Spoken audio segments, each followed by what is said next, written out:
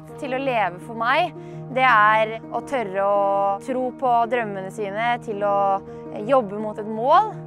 For å tro på at man skal få til noe, så må man jo drømme om det først. Et godt forbilde for meg avhenger egentlig ikke synes jeg, da, av en, en, prestasjon eller sånne ting, men mer en personlighet som er ekte. Som tør å være seg selv, tør å stå for egne meninger. Jeg syns det er veldig bra at YX Norge og MOT deler ut en skiskytter med motpris.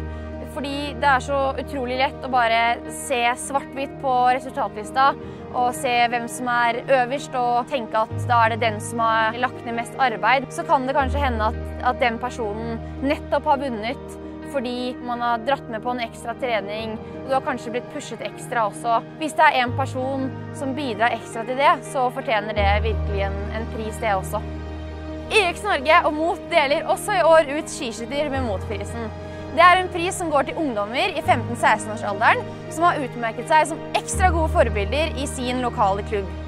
Premien er en gullbillett til sesongåpningen på Sjusjøen, og jeg gleder meg veldig til å se dere og håper dere også er supergira.